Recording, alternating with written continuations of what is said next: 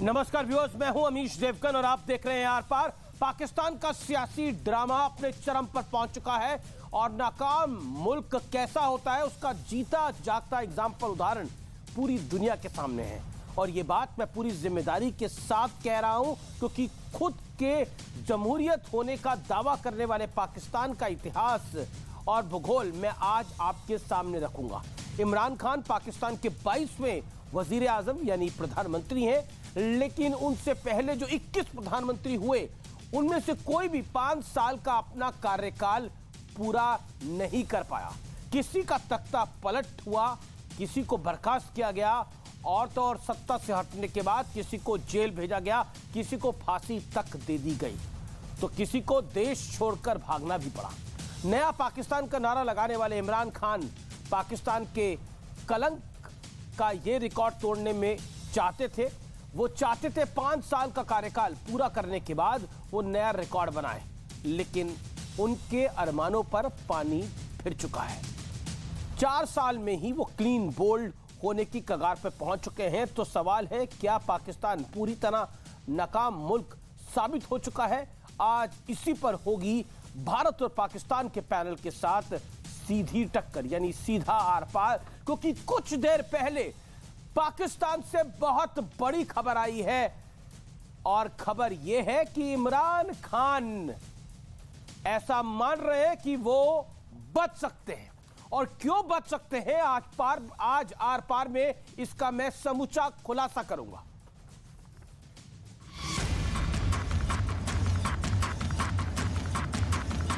वज़ीर आज़म साहब के पास कोई ऑप्शन नहीं रहा। वो वज़ीर आज़म नहीं रहा। या इस्तीफ़ा देना है या आप इतना देर नहीं भाग सकते हो। कि आपको बचाने अब कोई नहीं आएगा आपकी गेम इज़ नाउ ओवर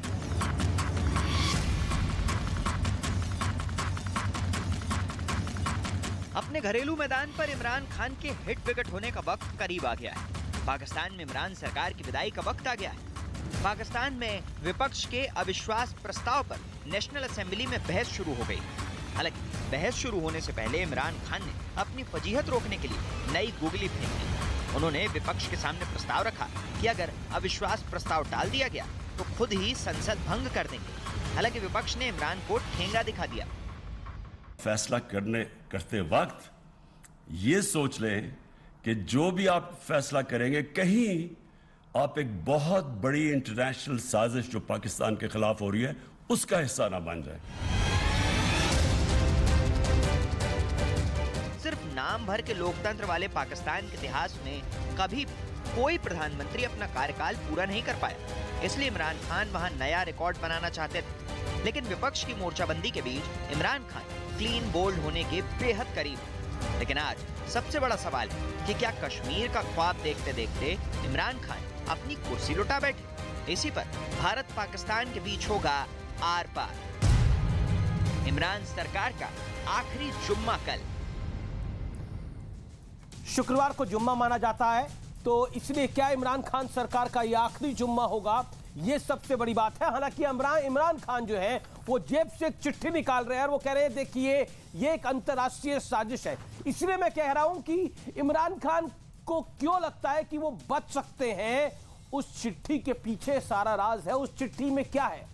उस चिट्ठी की कहानी क्या है? और उसके साथ साथ इमरान खान को क्यों लगता है? ये पूरी इंटरनेशनल साजिश है। और इसके पीछे कोई बड़ा हाथ है, बड़ा विदेशी हाथ है, उसकी भी मैं बात करूँगा। लेकिन पहले नाकाम पाकिस्तान का विश्लेषण सुनिए। इमरान खान पाकिस्तान के 22वें प्रधानमंत्री हैं। 21 प्रधानमंत्री पाँच साल का कार्यकाल पूरा नहीं कर पाए हैं। पॉइंट नंबर थ्री पद से हटने के बाद किसी को फांसी हुई है तो किसी को जेल हुई है। ये इतिहास है पाकिस्तान का कोई मैं मन कहानी नहीं बता रहा। अब मैं आपको कुछ नाम गिराता हूँ। अब उसका विश्लेषण सुनिए। लियाकत अली। 15 अगस्त उन्नीस से 16 अक्टूबर उन्नीस सौ इक्यावन हत्या की गई। अगला नाम, जुल्फिकार अली भुट्टो। 14 अगस्त 1973 से 5 जुलाई 1977 जियाउल हक ने इनका तख्ता पटला पलटा और फिर भुट्टो को जेल में भेजा गया और फिर फांसी हुई। अब बेनजीर भुट्टो 19 अक्टूबर उन्नीस से 5 नवंबर उन्नीस भ्रष्टाचार के आरोप में बर्खास्त हुई और बाद में इनकी हत्या भी कर दी गई। नवाज़ शरीफ 17 फरवरी उन्नीस से 12 अक्टूबर उन्नीस सौ निन्यानवे। याद होगा ये आपको, परवेज मुशर्रफ ने इनका तख्ता पलट किया था, नजरबंद किया था, जेल में डाला था और उसके बाद ये लंदन चले गए थे। और अभी भी यही कहा जाता है कि इन्हीं के इशारे पर लंदन से ये सब कुछ करवा रहे हैं और इसमें बड़ा हाथ और भी किसी कई लोगों का है। ये कहा जाता है, मेरे साथ बात करने के लिए भारत से संबित पात्रा जुड़ रहे हैं, जो कि भारत की रूलिंग पार्टी है। भारतीय जनता पार्टी उसके प्रवक्ता है, नेता है डॉक्टर संबित पात्रा। तारिक फतेह हैं, जाने माने लेखक हैं। मेरे साथ जुड़े हैं कनाडा से इस समय लाइव। मेरे साथ अब्दुल सम्मद याकूब साहब हैं, पाकिस्तान से हैं। इमरान खान की पार्टी के बड़े नेता हैं। सैयद इलाही मेरे साथ जुड़ेंगे और कमर चीमा भी मेरे साथ जुड़ेंगे। मैं सबसे पहले अब्दुल समद साहब आपसे सवाल पूछना चाहता हूँ, जो बड़ा महत्वपूर्ण है। इमरान खान बार बार एक चिट्ठी का ज़िक्र करते हैं और कहते हैं कि चिट्ठी है, इस चिट्ठी में सारे राज मेरे पास हैं और ये जब चिट्ठी बाहर आ जाएगी तो बहुत कुछ हो जाएगा। लेकिन क्या आपको लगता नहीं है? हालाँकि सदन में जो चिट्ठी के बारे में चर्चा हुई, वो हम सबके सामने है। क्या आपको लगता नहीं है कि कमज़ोर व्यक्ति जो है, वो बार बार बोलता है, ये हाथ विदेशी है, ये हाथ विदेशी है जबकि घर के लोग ही तो सरकार गिरा रहे हैं। देखिए, सरकार सरकार हमेशा घर के लोग गिराया करते हैं। कोई बाहर से आके डायरेक्टली घर सरकार नहीं गिराया करता। भुट्टो को फांसी, जो जुडिशल मर्डर जिसको मैं कहता हूँ, अदालती कत्ल कहता हूँ, वो भी अदालत के ज़रिए हुआ था। अगर मियाँ नवाज़ शरीफ ने धमाके किए थे तो धमाकों के बाद उन्होंने जब उनकी गवर्नमेंट गिराई गई थी तो उन्होंने भी विदेशी आत का कहा था कि फॉरन हैंड जिसमें मुलविस हैं उसमें भी कोई बाहर से कोई लोग नहीं आए थे। देखिए हालात ऐसे पैदा कर दिए जाते हैं कि आपका रहना मुश्किल हो जाता है। लियाकत अली खान का जो कत्ल हुआ था उसके बाद उनकी जो इन्वेस्टिगेशन फ़ाइल थी वो पूरी की पूरी गायब हो गई। मल्टीपल ऐसे शवायद एविडेंस होते हैं कि जिसपे ये बंदा क्या कहे कि, कि जी आ, हमारे यहाँ और फिर ओपन सीक्रेट है, क्या ऊपर क्या ये रिवील नहीं हुआ कितनी किताबों में कि जी सी आई ए मुसाद किस तरह से दुनिया में जो है वो गवर्नमेंट गिराया करती हैं, किस तरह से उनकी इन्वॉल्वमेंट होती है, किस तरह से रजीम चेंज होती है, किस तरीके से जो है ना वो रजीम चेंज के नाम पे उन्होंने कितनी वो किया, क्या खुमैनी नहीं आया, क्या वहाँ पे सद्दाम हुसैन को नहीं लाया गया था, फिर सद्दाम हुसैन को नहीं हटाया गया था, ये सारी सारी जो साजिशें हैं, उस साजिशों का शिकार तो पाकिस्तान हमेशा से होता है। और यहाँ पे आपको लोकल कोलेबरेटर्स भी मिल जाते हैं। हमने पश्तून जो तहफ़ मूवमेंट है उस पर भी हमने आपसे आपको डोजियर्स दिए हमने रिवील किया कि जी किस तरीके से और फिर हमने कराची में रॉ के नेटवर्क को किस तरीके से एक्सपोज किया। फिर आ, किस तरह से डोजियर्स दिए आपको के बलोचिस्तान नहीं, नहीं, नहीं, नहीं, ये आपका देखिए दो चीज़ें आपने बोला किसी का रहना भी मुश्किल हो जाता है। आप कह रहे हैं कि कोई विदेशी हाथ है। मैं सीधा सवाल अभी आप रॉ की भी बात कर रहे हैं। मैं रॉ पर आऊँगा आप अपनी बात, आप अपनी बात को रख सकते हैं। यहाँ से भारत की तरफ़ से भी पैनलिस्ट हैं जो इसका जवाब देंगे। मैं रॉ की बात पर भी आऊँगा, लेकिन महत्वपूर्ण बात है, रहना कैसे मुश्किल हो गया है। आपको क्या लग रहा है कि इमरान खान के साथ भी वही हो सकता है जो भुट्टो के साथ हुआ, जो लियाकत अली के साथ हुआ? आपको ये डर है? या जो नवाज़ शरीफ के साथ हुआ, देश छोड़ के भागना पड़ा? देखें ना तो इमरान खान के साथ वो होगा, जो भुट्टो के साथ हुआ। ना इमरान खान के साथ वो हुआ, जो लियाकत अली खान के साथ हुआ। क्योंकि मियाँ साहब तो फिर डील करके मुल्क से बाहर चले गए। लियाकत अली खान को भी कत्ल कर दिया गया, भुट्टो को जेल, और फिर उसके बाद उसका अदालती मर्डर हो गया। ना तो इमरान खान, लियाकत अली खान है, ना भुट्टो है, ना नवाज़ शरीफ है। वो यहाँ पे कन्फ्रंट भी कर रहा है, और वो पहला कि जिसने उस डेयर किया, जिसने ये चिट्ठी की बात की है। वरना तो बहुत सारे लोग जो है वो उनको फेस सेविंग चाहिए होती है या वे आउट चाहिए होता है कि जी अगर इस तरह के हालात पैदा कर दिए गए तो वो कन्फ्रंट करने की बजाय चलिए थोड़ी देर के लिए आप भूल जाइए आप भारत के चैनल पे हालात क्या है? अगर मैं तीस सेकंड से आपसे में समझना चाहूँ हालात क्या है? हालात क्या ऐसे पैदा कर दिए गए हैं?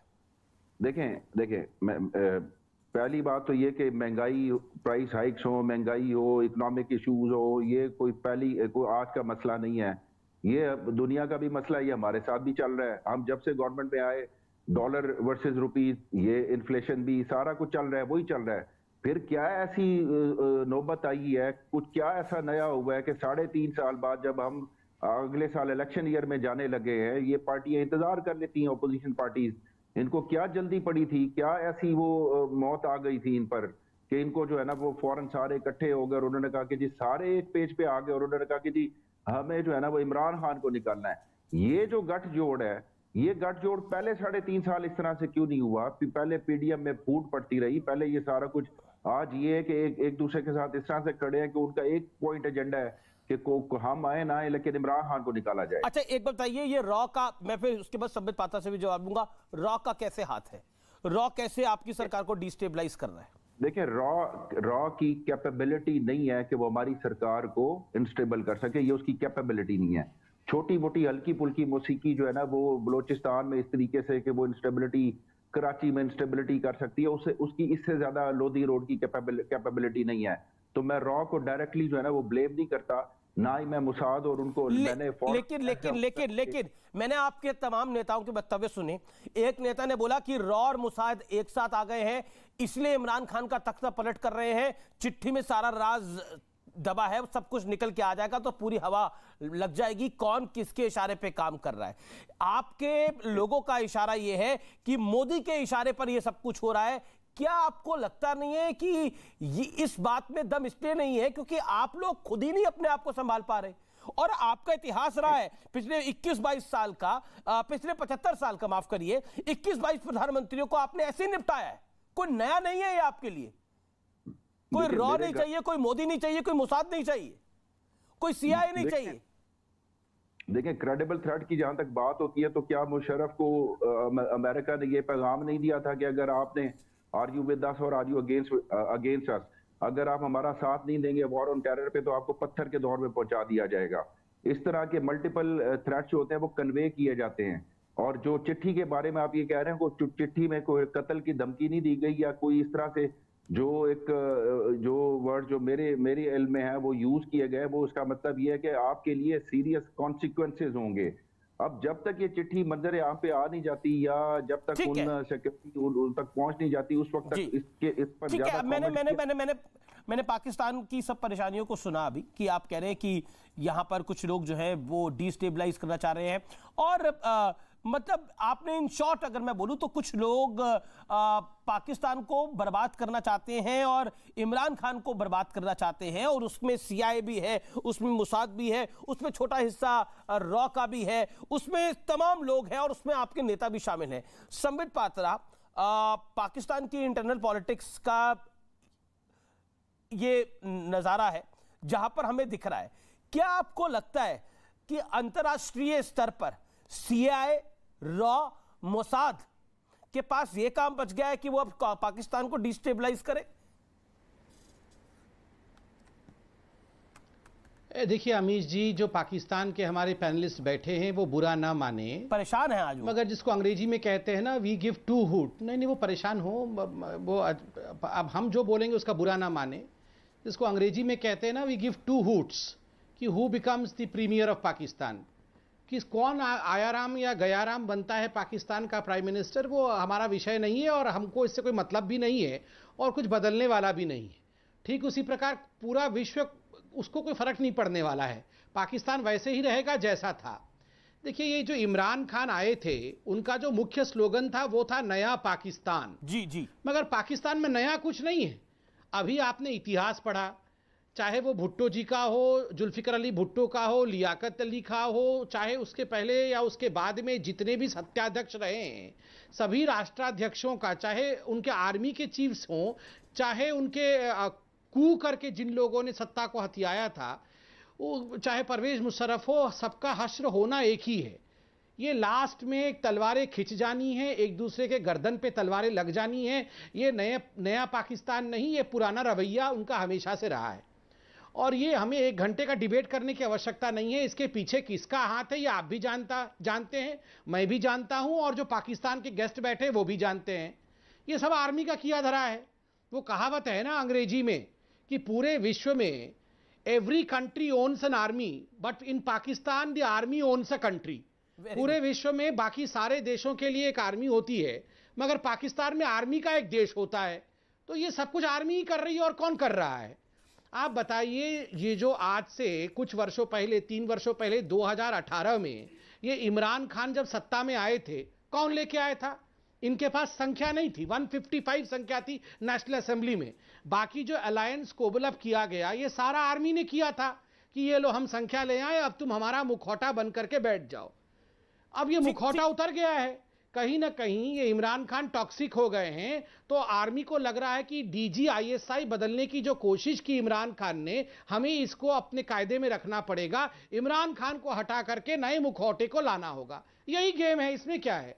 जी जी जी। ओके जवाब देना चाहते हैं अब्दुल याकूब साहब। अब्दुल जी। देखिए संबित पात्रा जी जो है ना वो तोता मैना की कहानी आके सुनाते हैं एक ही स्क्रिप्ट होता है हर चैनल के ऊपर उनको एक ही एक ही पाकिस्तान की आर्मी, पाकिस्तान की आर्मी और पाकिस्तान की इकोनॉमी इस बात का क्या जवाब दिया जाए? क्या मोदी जी ने मुक्ति बादी के बारे में नहीं कहा था कि हमने, हम मुक्ति बादी को हमने सपोर्ट किया था? हमने वहाँ पे जो है ना, वो मुदाखलत की थी बांग्लादेश में हम उनके पीछे खड़े थे, पाकिस्तान को तोड़ने में जब आप ओपनली अपना क्राइम एडमिट करते हैं तो फिर यहाँ पे आप आके कैसे कह सकते हैं कि जी, हमारा बलोचिस्तान में या हमारा पॉलिटिकल इंस्टेबिलिटी में कोई हाथ नहीं है? आपका आपका पॉलिटिकल इंस्टेबिलिटी से लेके हर जगह तक तो आपका कंसर्न होता है। आपको सी पैक हजम नहीं हुआ जब हम ग्वादर करने लगे तो आप ईरान पहुँच गए। आपको तो रात की ख्वाबों में भी जो है ना पाकिस्तान नज़र आता है आपको आपका बस हो तो पता नहीं आप कितने टुकड़े कर दे लेकिन आपका बस जो है ना वो चलता नहीं है। तो फिर कोई नई बात आके करे कोई नया सक्र तो आपको क्या लग रहा है? एक एक एक एक एक अब्दुल साहब आपको क्या लग रहा है कि मैं संबित से जवाब सुनवाऊँगा? आपको क्या लग रहा है ये जो आपने अपने 21 प्रधानमंत्री निपटाए इन सब में भारत का हाथ था? जो इमरान खान ने मैंने आपसे कहा कि आपकी इतनी कैपेबिलिटी नहीं है। नहीं तो फिर क्यों बार बार आप बोल रहे हैं कि फिर आप ही बोल रहे हैं कि आप लोग पॉलिटिकल इंस्टेबिलिटी चाहते हो आप लोग पाकिस्तान के टुकड़े करना चाहते हो। आप ही कह रहे हैं कि मुक्ति भाई आप खुद मान रहे हो आपने तो बोला मुक्ति भाई नहीं बनवाकर आपने बांग्लादेश अलग करवा दिया। आपने तो खुद ही माना ये सब कुछ ना मैंने थोड़ी बोला आपने बोला। You only said from your last word मेरे सुन लें। लास्ट वर्ड मेरे सुन लें। हम आपको रिस्पेक्ट देते हैं। हम ये कहते हैं कि आपने बांग्लादेश में इन्वॉल्व हुए। हम आपको कहते हैं कि जब बलोचिस्तान में हमारा तो कबूतर भी आपके यहाँ चला जाए तो आप पाकिस्तान मतलब पाकिस्तान से उड़ के कबूतर कबूतर बचे हैं आपके पास गधे तो बेच के इकोनॉमी चला रहे हो आप लोग। ठीक है समित पात्रा। ये तो बात सच है ना? देखिए मुझे तो हुआ पाकिस्तान से सबसे ज़्यादा गधे जा रहे हैं और उससे तो अर्थव्यवस्था चल रही है। ये तो आप ही के आप ही के यहाँ से निकल के आया? आप गाय बेच देते आप गधों की बात करते हैं। आप क्या गाय एक्सपोर्ट नहीं कर रहे? ठीक है। जवाब ले सब नाराज़ मत होइए ये सब अब आ, आप परेशान मत होइए। देखिए इन्होंने कहा कि आपका आपके पास तो बस ही नहीं है आप उस आपके पास वो काबिलियत ही नहीं है कि आप हमारे देश के टुकड़े कर दो। क्या आवश्यकता है हमारे पास उस काबिलियत की? आप सब मिलके खुद ही कर दोगे? कर तो रहे हो। आपको क्या लगता है? ये जो नेशनल असेंबली के सदस्यगण हैं आपके जो भिन्न भिन्न पार्टियों के सदस्य हैं उसको इंडिया समझा रही है? अरे आप लोग बहुत काबिल हैं अपने देश को तोड़ने के लिए, अपने इकोनॉमी को बर्बाद करने के लिए। देखिए, वो हिलरी क्लिंटन ने कहा था ना, आप अगर अपने घर के पीछे आँगन में सांप और सपोले पालोगे, उनको दी दूध पिलाओगे तो एक दिन वो सांप और सपोले आपको ही डसेंगे। तो हमें कुछ करने की आवश्यकता नहीं है। सारे सांप और सपोले आपने पाले हुए हैं। वो रह रहे के आपको डसते रहते हैं। अभी वो डसने का सिलसिला चल रहा है। ये डसने का सिलसिला आपके यहाँ चल रहा है और आपके पास नहीं नहीं मैं तो सुझाव दे सकता हूँ। आपको लगता है कि हम कुछ कर रहे हैं तो एक डोसियर बना के यूएन में दीजिए ना। डोसियर बना के यूएन में दीजिए। आप गया राम तो आपके यहाँ होता था। आप ही के पॉलिटिशियंस होते थे ना तो ये हमारे लिए तो पहले नहीं ये कहावत बनी थी ये तो आप लोगों ने बनाई थी तो क्या आप लोगों के यहाँ यहाँ पे ये नहीं होता था? क्या आप लोगों के आप लोगों के यहाँ जो है वो एक पॉलिटिशियन दूसरे पॉलिटिशियन के ऊपर इल्ज़ाम नहीं लगाता अच्छा ठीक है एक बात बताइए बिलावल बिलावल भुट्टो कह रहे हैं कि इमरान खान अब लीगली प्राइम मिनिस्टर नहीं है। वो मैंडेट खो खो चुके हैं। इसके ऊपर अब्दुल अब्दुल साहब तीस सेकंड का कमेंट बिलावल अगर आज आपको ये कह दें कि वो इस वक्त वज़ीर आज़म है तो क्या आप उनके कहने से वो वज़ीर आज़म मैं नहीं कह रहा आपसे सब राय पूछ रहा हूँ मैं। बिलावल भुट्टो का पर क्या कहते हैं आप? बेबी भुट्टो की स्टेटमेंट्स आती रहती हैं ख्वाब देखते रहते हैं अगर उनको ख्वाब अगर देख रहे हैं तो बेबी भुट्टो की। बेबी भुट्टो क्यों? उनका नाम बिलावल है? बिलावल भुट्टो का बी से बेबी हो गया ना। जी।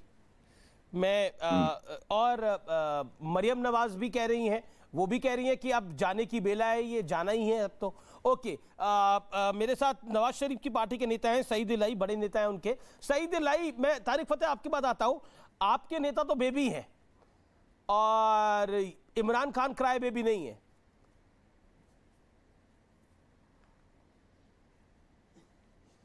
जवाब सईद लाई जी आपको मेरी आवाज़ आ रही है? जी आ रही है लाई साहब।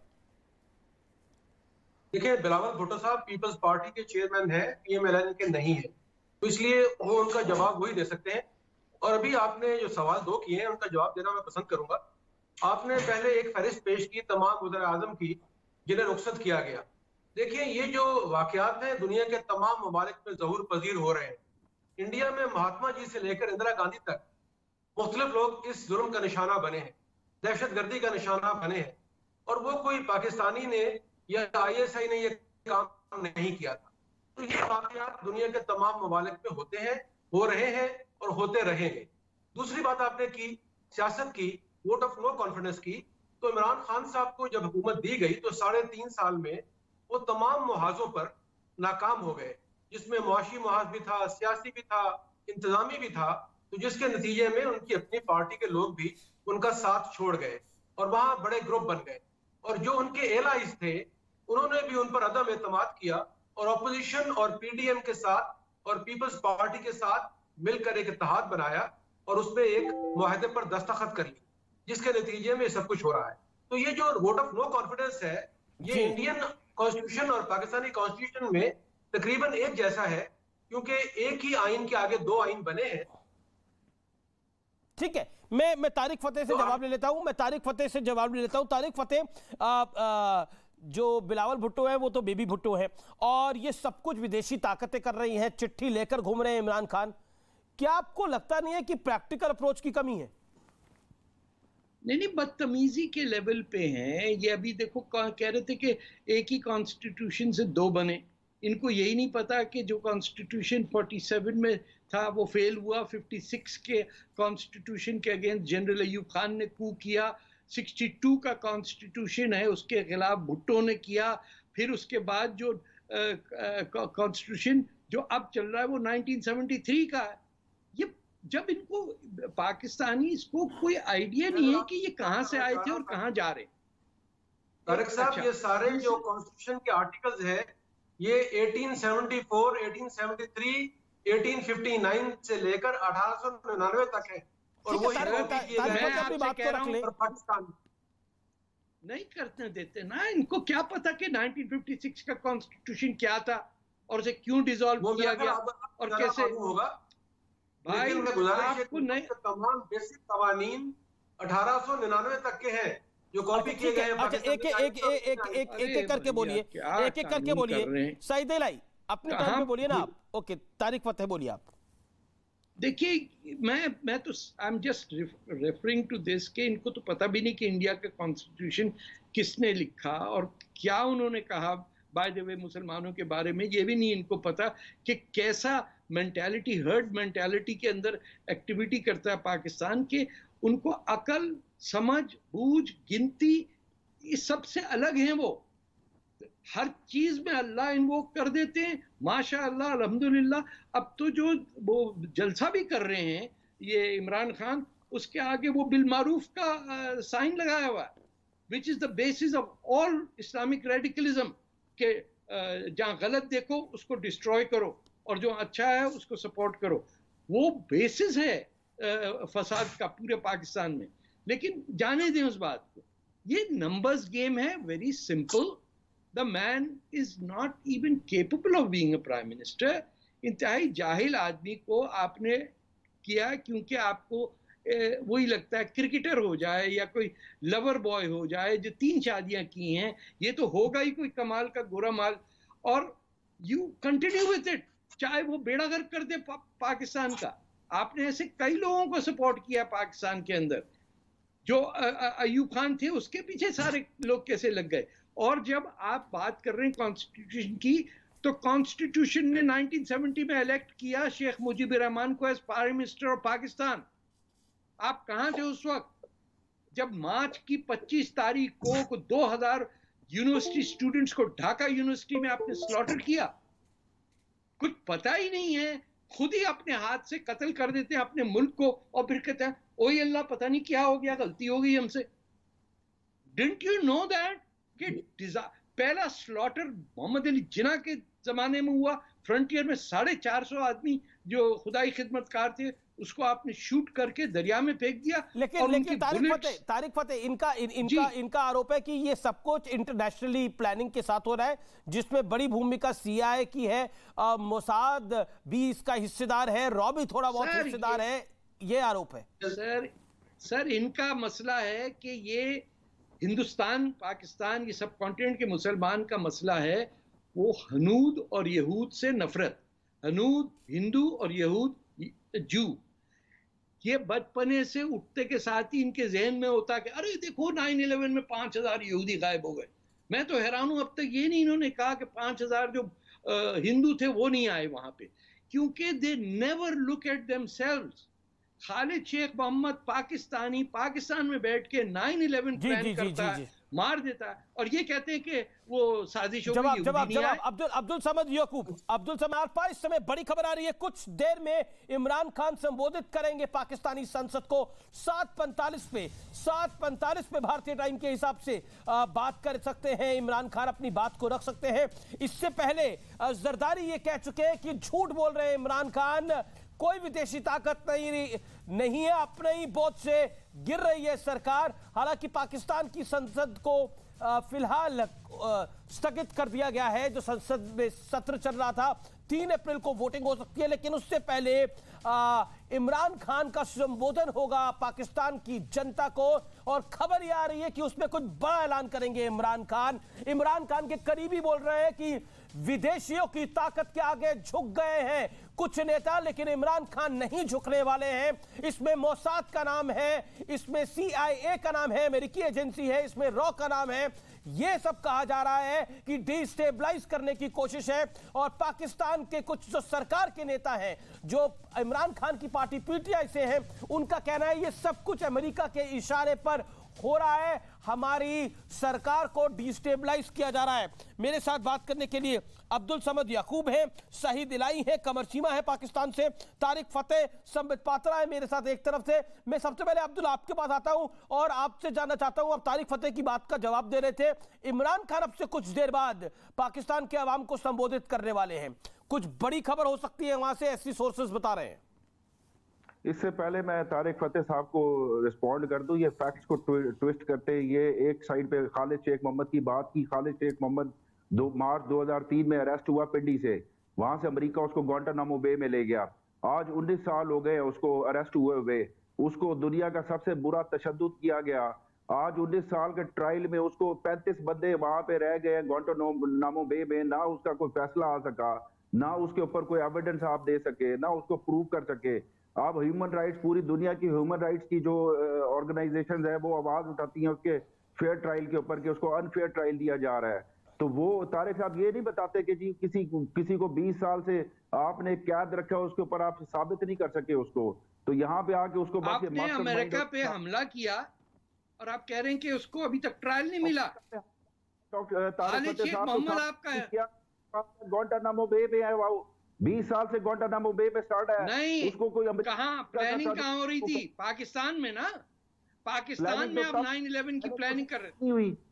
प्लानिंग तो साबित ही नहीं हुई उसके ऊपर। अगर प्लानिंग साबित हुई तो बीस साल से ट्रायल हो रहा है। आप क्यों नहीं कहते कि बीस साल से ट्रायल हो रहा है? उसामा बिन लादेन क्या कर रहे थे पाकिस्तान में? उसामा बिन लादेन पाकिस्तान में वही कर रहे थे कि उस उस पे ट्रा- उसका ट्रायल हुआ उसको फिर जो अजमल कसाब का ट्रायल हुआ वो आपने किया उसको उसामा बिन लादेन को। आपने उसको extrajudicial- डिफेंड कर रहे हैं। अच्छा क्या Osama bin Laden Osama bin Laden छुट्टी मनाने गए थे पाकिस्तान? एक बंदा बॉर्डर एक बंदा इन्फिल्ट्रेट करके आता है। अजमल कसाब क्या करने गया था वहाँ पे? इन्फिल्ट्रेट करके गया था। वीज़ा लेके तो नहीं गया था वहाँ पे। अगर उसामा बिन लादेन वहाँ आपके बगैर के पाकिस्तान के बगैर एबटाबाद में मिला पहन के चला गया।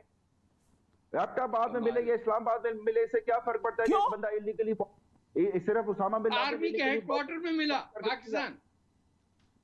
खालिद शेख वीज़ा लेके आया था पाकिस्तान। अजमल का साहब वीज़ा लेके गया था। इमरान बाबर वीज़ा लेके गया था। कश्मीरी इन्फिल्ट्रेट वीज़ा लेके जाते हैं। अरे वीज़ा आपका सर वीज़ा आपका किसी को भी बिक सक के मिल सकता है। आपके यहाँ corruption right through and through है। यहाँ पैसे दे के वीज़ा मिल जाता है हो तो काउंटर आर्गूमेंट ना हो तो आप कहेंगे किसी को भी वीज़ा मिल सकता है। और क्या? थोड़ी है। आप बात बात भाई आपके तो एम्बेसी वालों को तनख्वाहें नहीं मिल रही।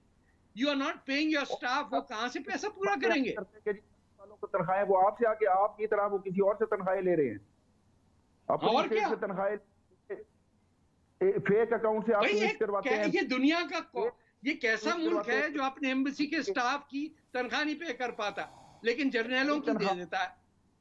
और भाई जर्नैलों को मिले ना मिले उनको मिले ये आपका मसला तो नहीं है ना? किसी ने आपसे आके किसी एक बंदे ने आपके आपके एम्बेसी के लोगों को हड़ताल करनी पड़ती है तनख्वाह लेने के लिए? आके आपको गिला किया कि तरह कोई एक बंदा जो मीडिया एक फेक अकाउंट आप उसको ट्विटर अकाउंट हैक करते हैं फिर वहाँ से एक ट्वीट कर देते कि जी तनख्वाह नहीं मिली। उसके बाद वो कोई आया मंजर यहाँ पे कोई एविडेंस आया उसके ऊपर? और तनख्वाह मिलना ना मिलना आपका आप मसला नहीं है। आप आने देंगे। आप उसको बोलने देंगे। ना। बंदा गायब हो तो- जाता है भैया। हमने भी आपको मिल रहे दो दफ़ा पाकिस्तान की जेलें काटी हैं। हमें पता है आप क्या करते हैं। सर एवरीथिंग आप? इज़ अपेरेंट क्या काटी है आपने? एक साल एक साल मच जेल में गुजार के आया हूँ। आपका पता तो है हमें। जेल तो मैंने भी गुजारी की होगी फिर हाँ, जेल तो कर ले जा आप तो फौज को आप तो फौज की डिफेंस में है ना। हाँ। आप तो फौज को मालिक समझते हैं ना अच्छा, अपना। जो एक साल की मच जेल आपको बुरी लग रही है जो ग्वांटानामो में बे में पड़े हैं बीस साल से उस पे आप नहीं बोलते आपको अपनी जेल आप ग्वांटानो में बे बताइए। यानी अच्छा ठीक है मैं अभी defending- ग्वांटानो नहीं जाना चाहता। अभी देखिए एक एक बात बताइए आपका मुल्क जो है वो ओसामा बिन लादेन को कमर चीमा पालता है। और ओसामा बिन लादेन जब निकलता है तो आप कहते हैं छुट्टी मनाने गया था। अब बताइए एबटाबाद में ओसामा बिन लादेन को कोई छुट्टी मनाने के लिए बुलाता है क्या? मैं आ रहा हूँ समित पात्रा आपके पास। और फिर आप कहते हैं, ये सब कुछ जो हो रहा है, ये विदेशी इशारे पर है इंटरनेशनल साजिश हो रही है इसके पीछे? देखिए, दो सवाल है आपके। पहला सवाल तो यह है कि क्या दुनिया के बाकी मुल्कों में अलकायदा के लोग नहीं पकड़े गए? क्या अमेरिका से, इंग्लैंड से, यूरोप से, फ्रांस से, मिडिल ईस्ट से पकड़े गए हैं? पूरे मिडल ईस्ट में है।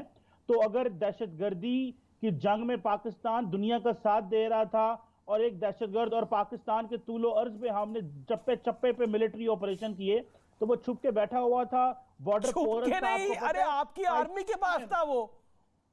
मतलब मतलब सुनेंगे। अगर आपने अपनी मर्ज़ी की बात करनी है तो आप कर सकते हैं। अगर आपने मुझे सुनना है तो मुझे सुनने मैं तो सुन ही रहा हूँ तो आपको लेकिन आप बताइए कमर चीमा उसको साथ लेकर आप कौन सी दहशतगर्दी के खिलाफ जंग लड़ रहे थे? मतलब कोई इस बात पे यकीन करेगा कि ओसामा बिन लादेन के खिलाफ के साथ आप मिलकर दहशतगर्दी की जंग लड़ रहे थे? उसको अपने घर में इन्वाइट करके।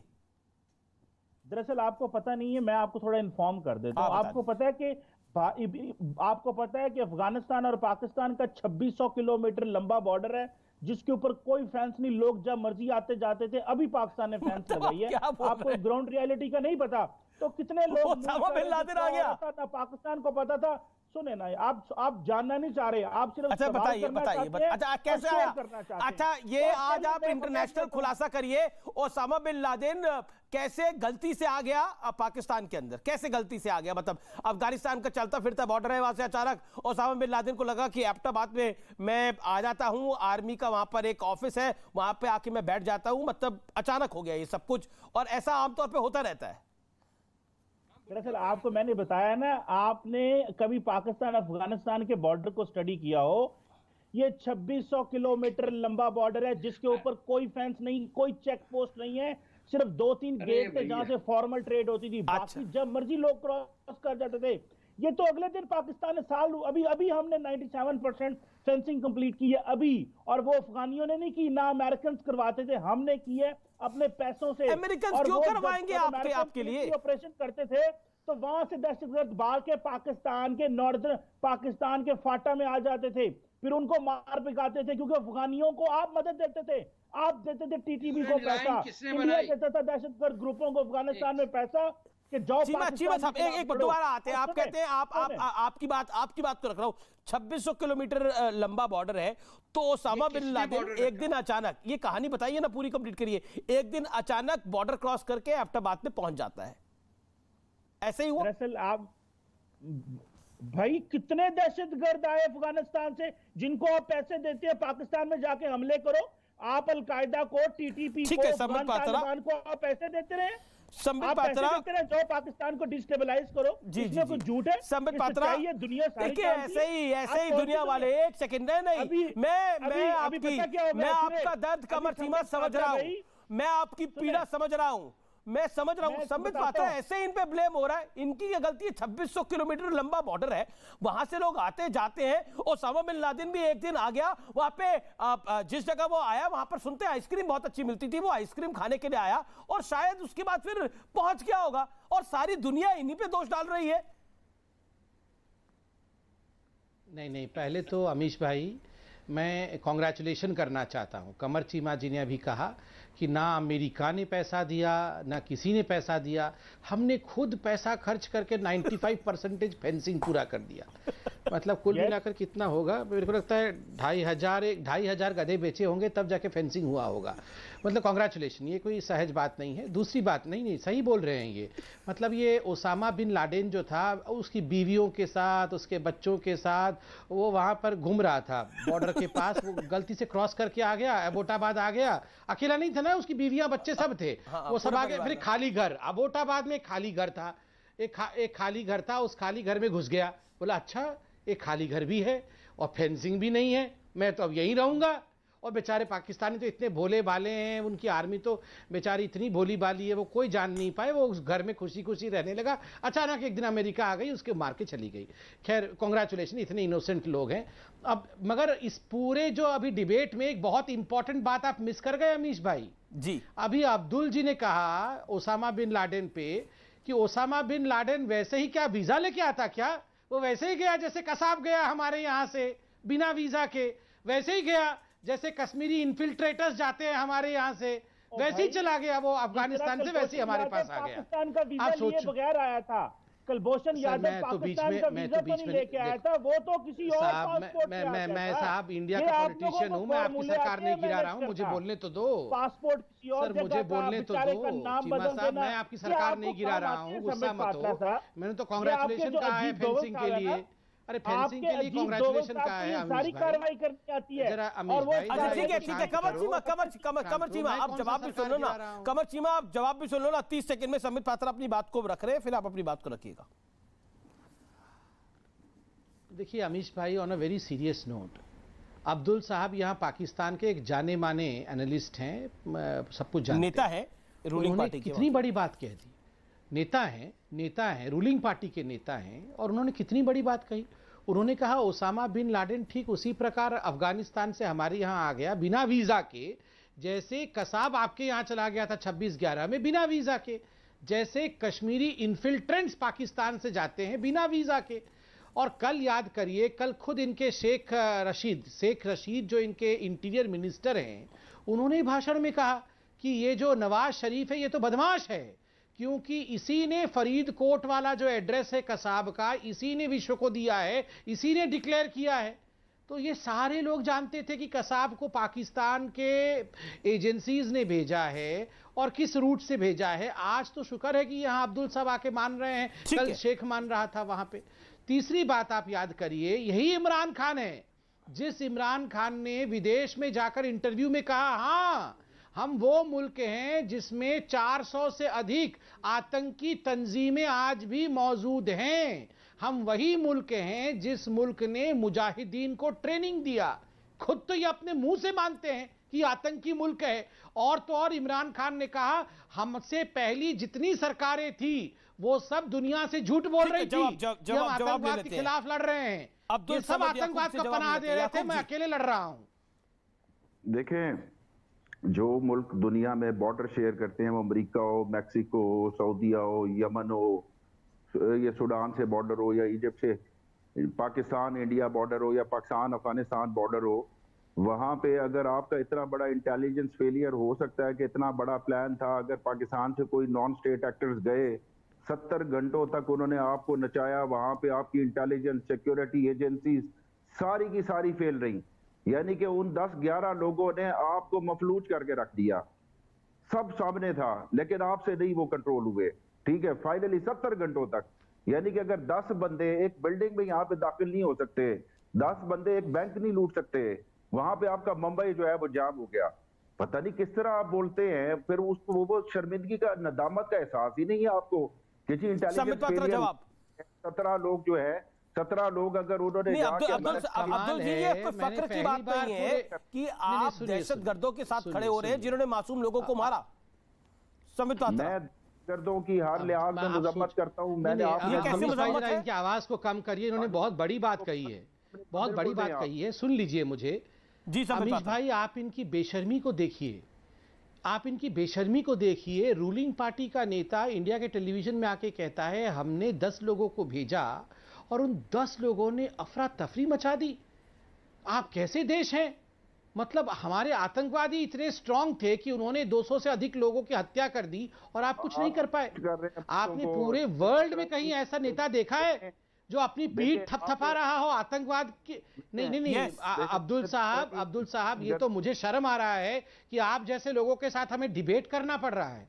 आप यहाँ अपनी पीठ थपथपा रहे हैं कि हमारे पास इतने पावरफुल आतंकवादी हैं जिन्होंने इंडिया में लोगों को मार दिया और इंडिया कुछ नहीं कर पाई। मुझे शर्म आ रहा है ये अब- कि अब- ऐसे अब्दुल- अब्दुल- नेताओं के साथ हमें डिबेट करना पड़ रहा है। अब्दुल याकूब आप आपने आप आप तो बड़ी गर्व से बता रहे हैं कि देखिए कितना बढ़िया हुआ हमारे हमारे दस लोग आए और उन दस लोगों ने पूरी तरह से चकाया। मासूम लोगों को मारने वालों के साथ आप खड़े हैं तभी आप देखिए ना आपके मुल्क का क्या हाल है आज। आप मेरी बात एक प्रधानमंत्री अपना कार्यकाल पूरा नहीं कर पा रहा। सबका ध्यान कश्मीर पे और दहशतगर्दी पे रहता है। तो कैसे आवाम का काम होगा? जनता को कैसे सहूलत देंगे आप लोग? अच्छा अब ट्विस्ट ना करें मेरी बात को। आधे सेकंड के लिए आधे मिनट के लिए मेरी बात सुन लें। इंटीरियर मिनिस्टर रहमान मलिक से जब ये चल रहा था वो इंटीरियर मिनिस्टर से उन्होंने ये कहा था कि भले आप इनका फेयर ट्रायल करके इनको फांसी दे दें जो मर्ज़ी कर दें। हम आपके साथ हैं। आपने फांसी दी मैं मैं कहता हूँ ठीक किया आपने। जो भी दहशतगर्द इनफिल्ट्रेट करता है बेशक पर मार अभी उस। उससे पहले आप डिफेंड कर रहे थे उस बात आप कौन है? ठीक है नहीं है बोलने वाले। आपको पूछ कौन रहा है? आपने फांसी दी मैं कहता हूँ ठीक है। आप कौन है? आपको कौन पूछ रहा है? आतंकवादी भेज के कहते हैं कि आपने फांसी दी ठीक किया। हम नहीं इसमें आपत्ति करते। वाह वाह। तो मैं क्या कहूँ? मैंने आपसे कल भी तारिक फतेह साहब के साथ एक प्रोग्राम में कहा कि अजमल का साहब आपने आज तो आप नहीं नहीं आज तो आप नहीं आज तो आपका स्लिप ऑफ़ टंग जो हुआ है वो सारी हकीकत आपने बयां कर दी है। पहले तो आपने कहा कि आप ही ने कसाब को भेजा था। बीस दूसरी बार आपने कहा कि देखो कसाब ने जाकर वहाँ किस तरह की अफरा तफरी मचाई इंडिया में। उसमें आप अपनी पीठ ठोक रहे थे खुद ही खुश हो रहे थे कि कमाल हो गया देखो पाकिस्तान। जिस देश ना ना आप सांप पालोगे तो सांप आपको ही डसेगा। कहावत है ना आप अपने पिछवाड़े पे सांप पालोगे तो सांप को दूध पिलाओगे तो सांप आपको डसेगा। आज सारे सांप आपको डस रहे हैं। ये जो आपके नेशनल असेंबली में खेल चल रहा है ना सांपों का खेल ये जो सांपों का खेल चल रहा है आप भुगतो आप उसे। ये सारे सांप एक दूसरे को डस रहे हैं। और पालो सांप तो किसी प्रोग्राम में तो कोई नई बात लेके आ जाया करे। मैं आपसे कह रहा हूँ कि इंटेलिजेंस फेलियर जो होता है वो नई बात कहाँ से? पुराने सांप है मैं नई नई बात कहाँ से लाऊं? सारे सांप पुराने हैं मैं नई बात कहाँ से ले आऊँ आप बताओ। आप सांपों को हटाओ फिर हम नई बात करेंगे। ये अब ये डॉक्टर सईद इलाही ने जो बात कही थी कि गांधी जी को हमने बोल रहे कत्ल नई किया बात करो। वोटते हुए हमारे पाकिस्तान से गया था वो जो दो ऑपरेशन जो ये ब्लू स्टार था आपका अरे अब्दुल साहब अब्दुल साहब उस जमाने की तो बात ना करो आपने तो भारत माता का ही कत्ल कर दिया। भारत माता के आंचल को फाड़ करके इस विराट इस विराट हिंदुस्तान को दो टुकड़ों में परिवर्तित किया। आपने तो कत्ल किया आपने जमीर का। आपने कत्ल किया आपने मातृभूमि का आपने कत्ल किया करोड़ों वर्ष के एक इतिहास का। इतने बड़े तो कत्ल कर आप करते हो इतने बड़े तो आप हत्यारे हो उसके बाद आप यहाँ आकर खुद मानते हो। कबूलनामा आज आपने दिया है कि कसाब को आपने भेजा। फिर यहाँ इतरा भी रहे हो कि कसाब ने इतने लोगों को मार दिया और हम तो हम तो तो देख रहे थे आप कुछ नहीं कर पा रहे थे। आपको आज माफ़ी मांगनी चाहिए। देखें देखें मेरी बात सुने संबित पात्रा जी ये एक सीरियस टॉपिक है। इसको आप अपनी पॉलिटिकल स्टोरी के लिए इस्तेमाल ना करें। मैंने आपसे ये कहा कि सीरियस टॉपिक है। आपने खुद कहा ना कि सीरियसली बोला। ही गया पाकिस्तान आपने सीरियसली बोला कि आपकी ओसामा आया अफ़गानिस्तान को से। चकाया। आपकी पुलिस को चकाया। अब आप बताइए नाइन इलेवन में अमेरिका को चका दिया ओसामा बिन लादेन ने? आतंकी भेज दिए। अमीर जी अपनी टीआरपी या पॉलिटिकल स्कोरिंग टीआरपी की बात नहीं है मेरे देश की बात है। आप कह रहे हैं आप कह रहे हैं कि मैं हिंदुस्तान में दहशतगर्दी का सपोर्ट अगर आप करेंगे तो हम उस पर सवाल खड़ा करेंगे ही करेंगे। और इसीलिए अच्छा, आपके मुल्क की आज ये हालत है। और अगर आपको लगता है तो संबित पात्रा को छोड़िए संबित पात्रा को थोड़ी देर के लिए छोड़िए। मैं मैं मैं मैं रुक करता हूँ एक न्यूट्रल आदमी का जो ना हिंदुस्तान में ना पाकिस्तान में जो कनाडा में है तारिक फतेह तारिक फतेह क्या आपको नहीं हैं? उसको ट्विटर कह रहे हैं। क्यों नहीं है न्यूट्रल वो? तारिक फतेह साहब से ज़्यादा तो क्रेडिट जो क्रेडिबिलिटी है वो तो संबित पात्रा की है। नहीं नहीं वो आपको लग सकता है। आपको लग सकता है नहीं संबित पात्रा की अरे, भी हिंदुस्तान में बहुत क्रेडिबिलिटी है। भैया, संबित पात्रा भाई, की भी बहुत क्रेडिबिलिटी है तारिक फतेह हिज पॉइंट करता हूँ। मैं ज़्यादा रिस्पेक्ट करता हूँ संबित पात्रा की। अरे भैया आप करें ना प्लीज़ जान छोड़े हमारी ड्यूरेंट लाइन के पुजारी। ये बात कर रहे थे देखिए ये बात कर रहे थे तारिक फतेह ऐसा लग रहा है कि आतंकवाद को लेजिटिमाइज किया जा रहा है? कल को बोला जाएगा नाइन इलेवन में हमने अमेरिका को चका दिया। क्या ये 1947 में जिना साहब ने क्या प्रूव किया? रोज नहीं मनाते हैं ये क्या? टू नेशन थ्योरी किसने बनाई थी? लाखों आदमी की जानें चली गई उसमें पार्टीशन में और ये यहाँ बैठ के अकम्पलिशमेंट बता रहे हैं अपनी two nation theory is a Tarek is a अगर क्रिमिनल आपने गैर ज़रूरत है ना? समझ रहे मेरी बात मैं बीच में नहीं बोला आप खामोश रहे। प्लीज़। फैसला यही नहीं नहीं भैया चुप रहो। अरे चुप रहो यार तुम लोगों ने। जाने दो। हैदराबाद के अंदर जस्टिस take- सुंदर लाल की रिपोर्ट के मुताबिक चालीस हज़ार से दो लाख कत्ल हुआ। आप उसको आप अरे करते हैं उसकी। भाई इसको चुप कराएँ ये क्या मसला है जवाब जवाब या याकूब याकूब आप बात तो सुनेंगे ना। नहीं सुनेंगे ना। अब्दुल अब्दुल याकूब अब्दुल बात याकूब अब्दुल अब्दुल अब्दुल जी अब्दुल याकूब। आप खामोश कराएँ या बात करें तारिक फतेह को बोलने के मौका दीजिए ना एक मिनट का। उनका वक्त है ना ये। तारिक फतेह। ये छब्बीस सौ मील लंबा बॉर्डर जिसको ड्यूरेंट लाइन कहते हैं। आप इनसे पूछिए ये कौन पुजारी है ड्यूरेंट लाइन का। ये जो लाइन खींची है जिसको अफ़गानिस्तान नहीं मानता क्योंकि वो अंग्रेज़ ने पार्टीशन किया है मुसलमान पश्तूनों का और इन, इंडिया के पश्तूनों के बीच में बॉर्डर खोद के उनसे लड़वाया है ये नहीं एक्सेप्ट करता अफ़गानिस्तान। आप पूजा करते हैं ड्यूरिंग लाइन की। आपके सामने अंग्रेज़ आपका बाप है जिसने बैठ के हिंदुस्तान के बाजू काटे। आपको आज तक ये बात शर्म में नहीं आती कि आपने एक। तारीखी सिविलाइजेशन को काट दिया। आपको दुख नहीं होता कि हिंदुस्तान के तीन टुकड़े करने में आप अब्दुल- अब- रिजॉइस करते हैं? ठीक है अब्दुल अब्दुल याकूब चा- तीस और ये सेकंड में जवाब लाइन कमर चीमा क्यों कमर चीमा। अब्दुल याकूब चालीस सेकंड में जवाब देन कमर चीमा। डिमार्केशन की थी। ये सर क्रीक ने और सर जो रेड कैलिफ था उसने पंजाब की डिमार्केशन की थी। वो कोई हमारी को खाला का पुत्र था? वो भी तो वही से आया था अमेरिका था से आया था बिल्कुल था जिना के नाम पे था। बिल्कुल Radcliffe and Jinnah were together क्या किससे छुपी हुई बात है? अच्छा एक सेकंड बड़ी खबर आ रही है। कुछ देर में इमरान खान इमरान खान संबोधित करने जा रहे हैं। आ, कमर चीमा भी थोड़ी देर पहले बात हुई जो बात यहाँ पर अब्दुल समद याकूब ने की कि विपक्ष जो है वो एक सपना देख रहा है और कुछ होने वाला नहीं है। ग्राउंड रियलिटी क्या है? क्या आपको लगता है कि वहाँ पर अभी इमरान खान की सरकार बच सकती है, क्योंकि बिलावल भुट्टो को तो बेबी भुट्टो के नाम से जाना जाता है, जैसा अब्दुल ने कहा। उनकी बात में क्रेडिबिलिटी नहीं है।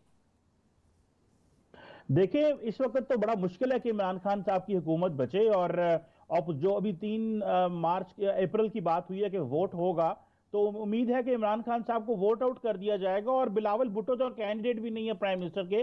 I think he is a likely candidate for the foreign minister at the moment in the coming government तो शहबाज शरीफ साहब होंगे, लेकिन मेरा ख्याल है कि इमरान खान साहब, ये जो vote of no confidence motion उनके खिलाफ आया है, ये इमरान खान को एक नई ज़िंदगी देगा। मैं इमरान खान को पॉलिटिकल आइडियाज़ को आजकल सपोर्ट नहीं कर रहा, लेकिन मुझे लग रहा है, जो मैं पब्लिक पल्स समझ रहा हूँ, कि इमरान खान आगे से ज़्यादा तेज, बड़ी पावर लेके आ सकते हैं बिकॉज़ उनके अंदर अवाम के अंदर उनके लिए एक बड़ा जज्बा जाग पड़ा है कि इनको वोट आउट किया जा रहा है।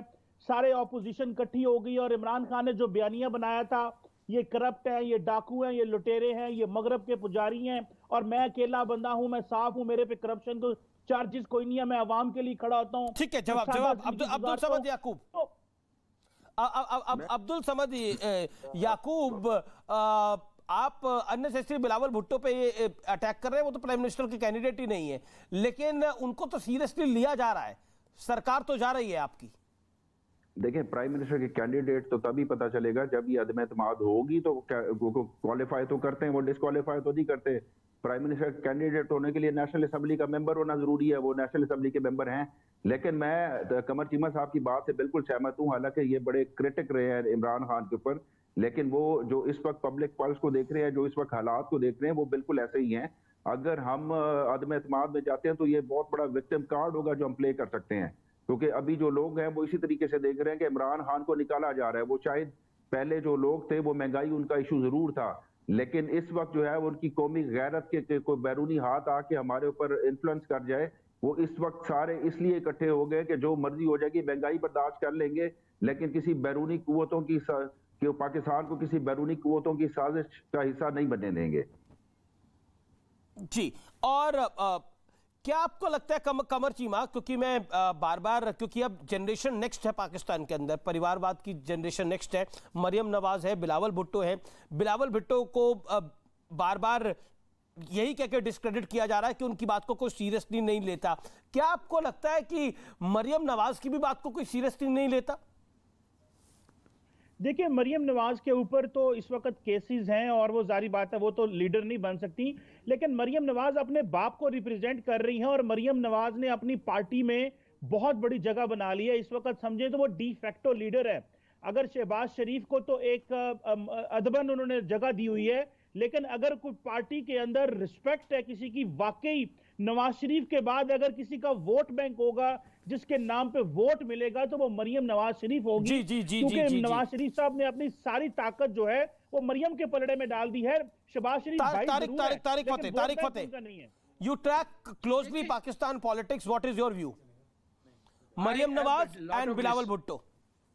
नहीं I have a lot of respect for Maryam Nawaz और she is far more mature than Bilawal Bhutto I I would say और कंफर्ट लेवल जो है मरियम का आम आदमी शहरियों के साथ, वो उसके एक लफ्ज से मैं समझा। जब उसने लाहौर में जलसे में कहा, लाहौरियो that was incredible because she could relate वो आम जो घर की बोली है, जो लोगों की सोच है, जो उनसे छीन लिया गया सब कुछ।